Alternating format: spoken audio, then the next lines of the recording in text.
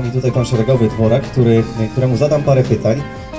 Niech nam pan powie tak y, przy okazji tego pokazu, te pieski, y, w jakiego typu akcjach y, zazwyczaj biorą udział? E, Nasze pieski e, brały udział w misjach stabilizacyjnych w Afganistanie i w Iraku. E, W każdej zmianie e, stabilizacyjnej.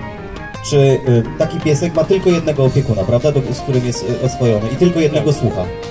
Piesek e, w momencie, gdy osiąga około roku, jest e, szkolony e, w centrum szkolenia i wtedy zaczyna służyć u nas w pułku e, aż do osiągnięcia Wieku emerytalnego. wieku emerytalnego. Właśnie. Y, ile lat, y, po ilu latach taki piesek odchodzi na emeryturę?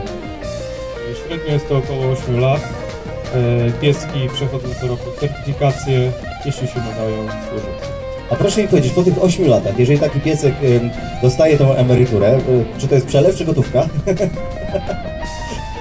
I niech mi pan powie, czy taki piesek, co się z nim potem dalej, dalej dzieje? Czy ktoś go y, przygarnia prywatnie i jest takim y, domowym milusińskim, czy one mają swój taki No, pieski zazwyczaj, dom psa seniora? e, pieski zazwyczaj są brane przez przewodników.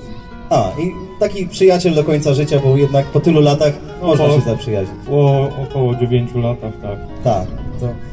No.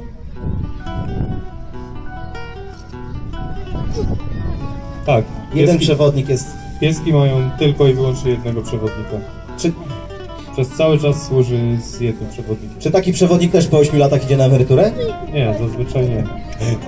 Razem z psem prawda, sobie odpoczywali, to zawsze inaczej. No jest, jest szansa dostania następnego psa A y, proszę mi powiedzieć, w okresie, kiedy nie są na emeryturze, czyli są w czynnej służbie zawodowej, e, to gdzie mają swój dom? U przewodnika, czy są specjalne kojce w jednostkach? Tak, y, niektórzy przewodnicy, którzy mają taką możliwość, zabierają pieski do domu. E, Pieski na terenie jednostki mają swój dom, można powiedzieć. E, Obcy otrzymają naprawdę fajne warunki. Aha, i czyli są karmione i, wy, że tak powiem, wychowywane na najwyższym poziomie, najwyższych standardach. Tak, oczywiście. No jakby nie było, pełnią bardzo y, zaszczytną funkcję i, i pożyteczną przede wszystkim, czyli ich y, dobre samopoczucie i dobra kondycja jest y, przy ich służbie bardzo ważna.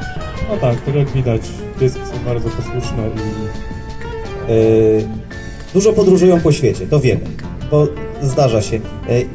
Czyli pod kątem środków transportu też nie ma z nimi żadnego problemu, do samolotów wsiadają, tak, latały samolotami. śmigłowce, także- wszystkie te już do czołgu, no tak. Większość z naszych psów już. e, No tak, no była. słynny Szarik nie miał problemu z czołgiem. Czy te pieski też już w czołgach siedziały?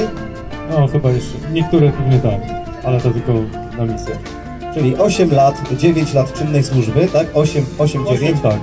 I e, rozumiem, że raz do roku jest e, prowadzone, są prowadzone takie e, badania, takie szkolenia. Tak, certyfikacja. Certyfikacja. I mogą służyć dalej. Rozumiem. Pod czujnym okiem szkoleniowców. Duże brawa dla opiekunów i dla piesków.